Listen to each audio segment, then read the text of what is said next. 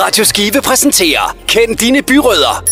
Kend dine byrødder. Kend dine byrødder. Vi skal snakke med nogle af dem, som er med i øh, byrådet her i Skive.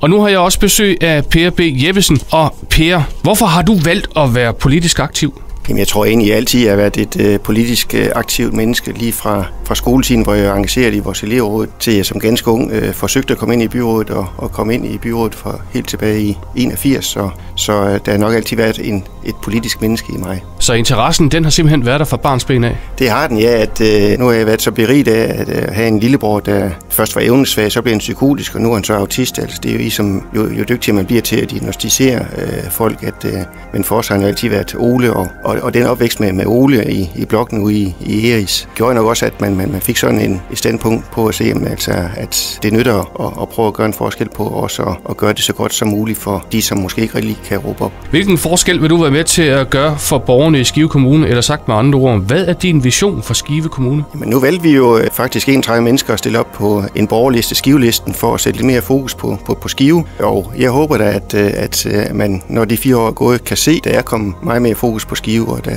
er kommet endnu mere skred i, i tingene. Sidste spørgsmål. Hvilke mål håber du, at Skive Kommune har nået inden for den her byrådsperiode? Ja, der er mange. Jeg håber for det første, at, at man er i gang endelig efter langt over 10 år med øh, at, at realisere tiltag på vores slagterigrund. Jeg forventer også, at vi er i fuld gang på elgrunden ved siden af, sådan at vi får et helt nyt øh, bydelscenter dernede omkring øh, med, med masser af boliger og aktiviteter. Jeg håber også, at vi får realiseret Big Blue stierne i omkring Skive Og så har jeg sådan en lille drøm om, at øh, den idé, jeg havde også for 10 år siden om at få en, en fjordsti langs øh, øh Salgens kyster og så fra Hostrup til, til Skive i første omgang realiseret. Det kræver en masse fondsmil, og det kræver også velvillig aktiv deltagelse fra Skive Byråd. Og, og kan, kan det lykkes, jamen, så synes jeg egentlig, at rigtig, rigtig meget er noget. Og den ligger der altså meget på sinde, den sti der? Jamen altså, jeg, jeg, jeg synes jo, at det, det er så oplagt, at når vi har, har vand rundt omkring hele Skive Kommune, at vi så ikke uh, får, får det udnyttet optimalt. Vi snakker meget mere om, meget om, om, om sundhed og bevægelse og turisme og sådan ting, og det her, det kunne kombinere uh, alle tre dele. Så, så jeg synes jo, at den ligger lige til, til venstreben. Jeg er fodboldspiller og sparker med venstre, så,